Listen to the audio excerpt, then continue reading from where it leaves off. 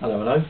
Sunday, the 6th of April. I know everyone, or it seems like everyone on YouTube is very, um, very interested in technicalities. So, 1962 Stratocaster, serial number 82004. Uh, I rewired it so you can have all three pickups on together, or the outside two.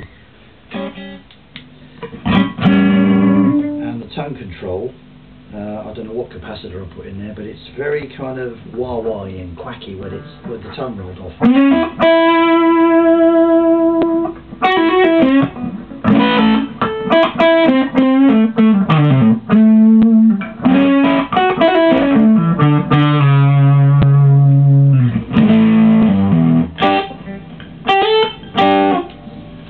Anyway, it's the long-awaited rematch. Awaited by who, I hear you ask?